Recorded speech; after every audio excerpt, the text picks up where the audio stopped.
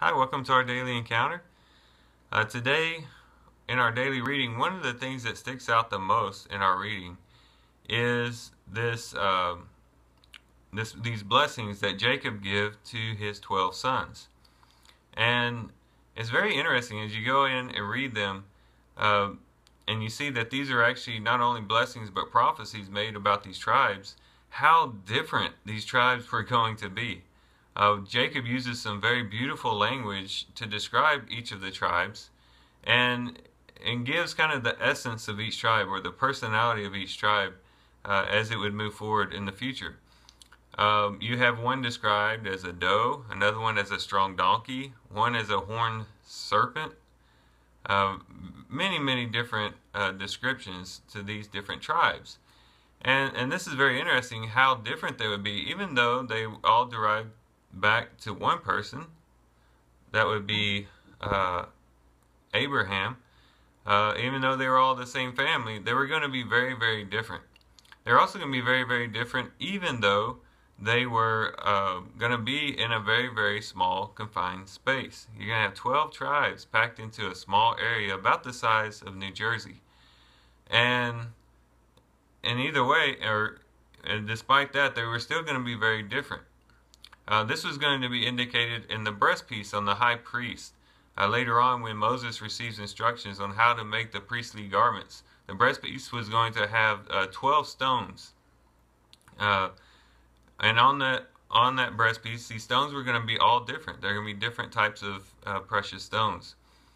Uh, and each one represented one of the tribes. And, and it just goes to show that even though each tribe would be a stone, it would be a different type of stone. Uh, each of them had their own uh, unique personality, their own unique essence about them. And this uh, also is reflective of the church today. Uh, as we look at ourselves as God's people, when you look within God, uh, when you look within the church, you see all different types of people and individuals. Um, part of that has to do with the nature of the church, the fact that it is for all people uh, around the world. is no longer tied to one ethnic group or one nation. Now, people from all different nations, from all different backgrounds, come together as one people in Jesus Christ.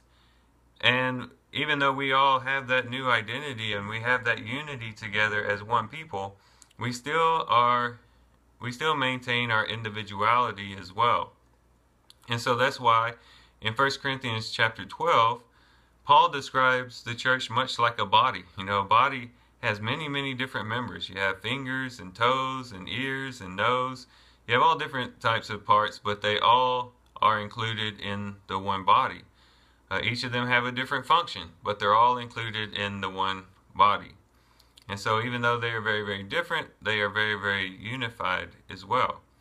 And it's very important for us to uh, recognize the differences, but also to appreciate the differences between our brothers and sisters. Um, just because they're they're not exactly like us, uh, just because maybe their approach to God might be a little bit different than ours, uh, because of their personality or because of their gifts, um, we need to accept them. Um, they might have different gifts that we don't have, and we might have gifts that they don't have, but we need to uh, accept them in that way because we are all a part of the same body. Uh, we are, again, very different, uh, just like the different uh, tribes were different, but uh, we are all one people.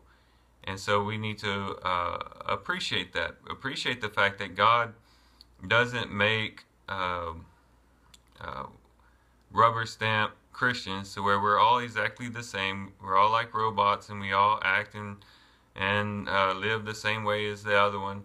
No, God has a, a church that is beautiful, that is multi varied, and that is multifaceted, and yet in some strange mystical way, it's all tied together into one complete unit.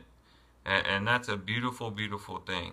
So as you read through your reading today, if you haven't already, uh, just think about that. Think about how wonderful it is that God is able to tie, tie things together that are so different and able to unify things that otherwise would have been uh, very much uh, had disunity in it, And He has brought us all together as one people, as one body, as one family before Him.